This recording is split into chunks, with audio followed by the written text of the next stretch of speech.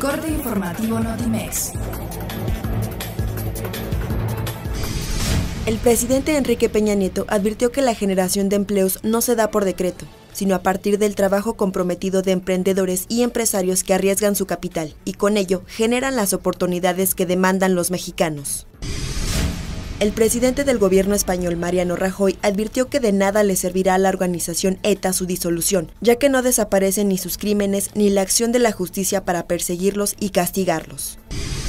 El titular de la Secretaría de Educación Pública, Otto Granados Roldán, dio el banderazo de salida a los vehículos que distribuirán 194 millones de libros y materiales educativos que se utilizarán en el ciclo escolar 2018-2019 en todas las escuelas del país.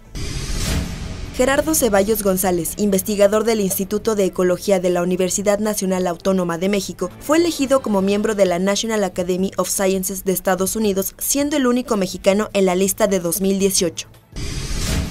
Los Tigres de la Universidad Autónoma de Nuevo León y Santos Laguna pretenden tomar ventaja en los cuartos de final del Torneo Clausura 2018 en el partido de ida, en el que los felinos buscarán un triunfo para tomar ventaja en la serie y llegar a 27 partidos de liga sin perder en el estadio universitario. El comediante Bill Cosby y el director de cine Roman Polanski fueron expulsados por la Junta de Gobernadores de la Academia de Artes y Ciencias Cinematográficas por violar normas de conducta de la organización.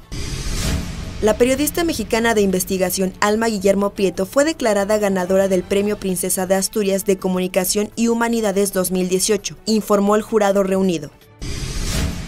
Notimex, Comunicación Global.